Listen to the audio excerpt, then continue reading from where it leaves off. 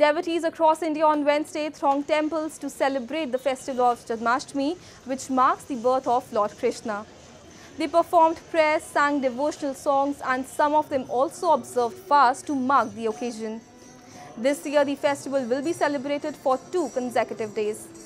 According to Hindu belief, Lord Krishna took birth to kill his maternal uncle Kans, the demon king of Mathura city.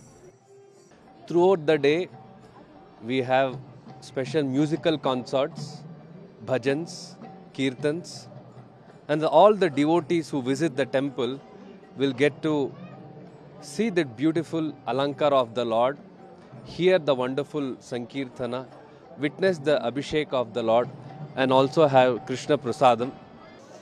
Meanwhile, serpentine queues spread across the Patan Darbar Square in Nepal as thousands of devotees thronged an ancient Krishna temple on the occasion.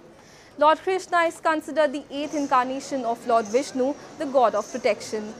Some children and infants dressed up as Lord Krishna and his consort Radha were the main center of attraction in the UNESCO World Heritage Site area. किन जन्माष्टमीको दिन अब आज भोलि हाम्रो व्रत बस्ने भोलि नक्षत्रबाट अब आज चाहिँ नि मकै सकै उसिनेर खाइन्छ अनिखेरि पूजाआजा गरिन्छ बत्ती बालिन्छ अखण्ड बत्ती बालिरहन्छ भगवान्को लागि साह्रै नै प्राणै दिइन्छ भन्ने यति